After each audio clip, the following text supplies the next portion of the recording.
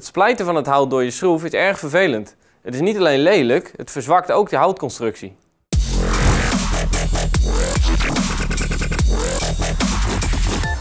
Welkom in het Dynaplus schroevenlab. Ik ga drie verschillende schroeven met elkaar vergelijken. Ik schroef ze heel kort aan de rand van dit hout en daarmee zullen we zien welke schroeven het hout gaan splijten. Ik begin met een gewone spaanplaatschroef zonder boorpunt.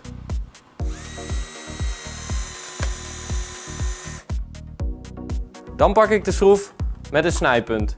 Deze schroef heeft onderaan de punt een snijkerf die ervoor zorgt dat hij een stukje materiaal meeneemt, waardoor die voorboort.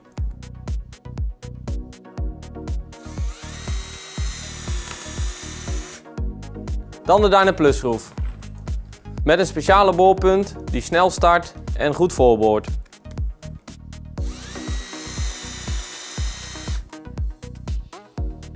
Door het unieke design van de Dyna Plus boorpunt met zijn gekartelde draad en zijn cross-sections aan de boorpunt is in de meeste gevallen voorboren overbodig.